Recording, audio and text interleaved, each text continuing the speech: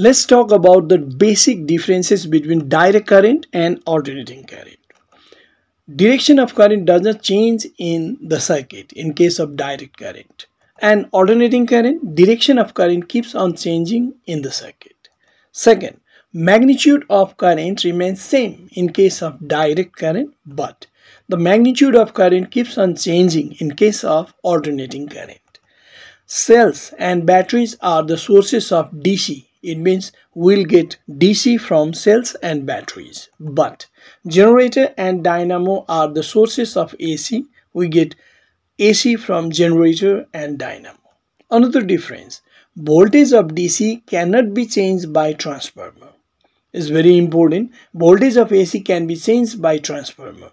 A voltage of 11,000 volt is generated in electric power plant and it is increased to very huge value and then it is transmitted to very long distance. Later, it is dropped down to 33 kilovolt, 11,000 volt and 400 volt and lastly when it reaches to the household circuit then it is dropped down to 220 volt. This way voltage of alternating current can be increased or decreased according to the requirement but Transformer doesn't work with direct current. It cannot change the voltage of direct current.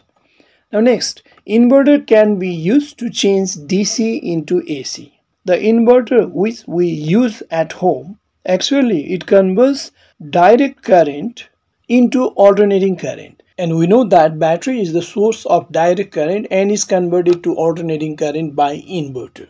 I am showing it with the diagram also. It converts electrical energy stored in battery into the alternating current and battery supplies DC and the same is converted into AC by inverter. Uh, on the other side, rectifier can be used to change AC into DC.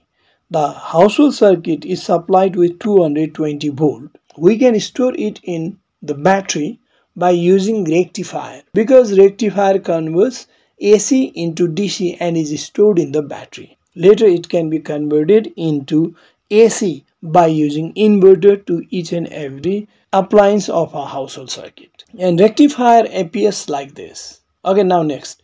It is not useful for long distance transmission. Direct current cannot be transmitted to very long distance because during transmission lot of electrical energy will be wasted.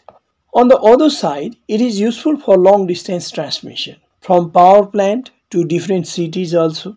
Okay next. It is used in the electronic devices having short distance. I mean to say the electric circuit which are used in electronic devices has very short distance for the flow of current. Okay next. It is widely used in domestic circuit and industries. We know this. Alternating current of 220 volt is used in domestic circuit but alternating current of more than 220 volt is used in industries next it has low voltage, hence no risk of getting electric shock.